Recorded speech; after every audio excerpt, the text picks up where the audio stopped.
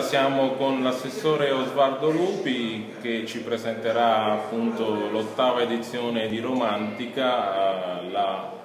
Notte Bianca, ma rassegna floristica internazionale a Bugnare. Assessore. Allora, anche quest'anno siamo giunti a questo nostro importante appuntamento che è l'ottava edizione del Festival Internazionale dei Fioristi. Come sappiamo eh, la parte diciamo dell'arte floreale, il trionfo dell'arte floreale, un momento importante a livello europeo e il tema anche per quest'anno ha eh, risvolti ambientali, diciamo, la sensibilizzazione continua dello scorso anno verso quello che è il tema del riciclaggio, del riutilizzo dei materiali apparentemente in disuso e di utilizzare pochissima materia prima con molto spreco, con poco spreco diciamo, di, materiale diciamo, usa e getta e di riciclare, utilizzare sia componenti che vengono dalla, di risulta dalla natura ma anche eh, componenti come carcasse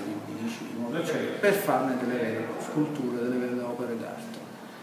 E, e, ovviamente eh, insieme alla parte del festival dei, dei fioristi c'è la parte del trattenimento che quest'anno eh, sarà eh, come gli altri anni però ancora più ricca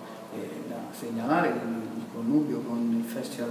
di Montagna Jazz con un appuntamento inserito nel nostro cartellone che è eh, la presenza di Gegge Telesforo e la sua band e che darà una qualità in più a quella che è la nostra, nostra offerta musicale. E noi eh, daremo a quello che è il Festival di Montagna Jazz un tocco di, di, di colore e di sapore in ogni angolo del centro storico che saranno comunque addobbati e decorati con queste composizioni floreali, con queste sculture floreali, ci saranno le nostre associazioni, le nostre associazioni del, del territorio, in particolare anche da citare l'associazione del Borgo Maria della Tomba di Sulmone,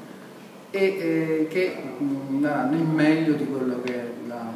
l'offerta enogastronomica del, di Pugnale del territorio.